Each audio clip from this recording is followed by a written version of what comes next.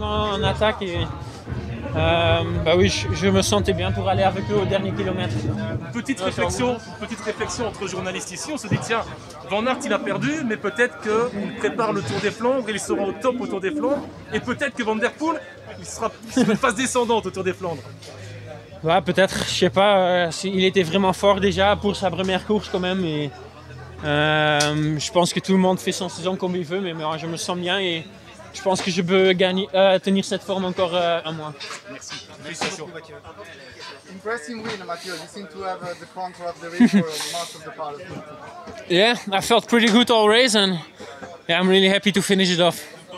And your teammates uh, also uh, had a good job to, you know, having you back in the, in the first group. Yeah, for sure. Um, Phil- Philip Alsleben was in the breakaway, and then um, when the race started, uh, Gianni Vermeers was really attentive, and the other guys dropped me at the at the crucial points of the race. So, yeah, I'm, re- I'm really happy with the teamwork today, and also really happy to finish it off.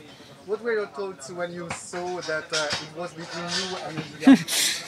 Yeah, and also Bernal was really strong. Um, yeah, I felt pretty good, but for sure, uh, it's two of the strongest riders that you ride to the finish line with, so you're never sure. Ne- Next goals for you? I do the Tirreno, but without a specific goal, and then uh, it's Sanremo and then the Belgian Classics. Okay, thank you.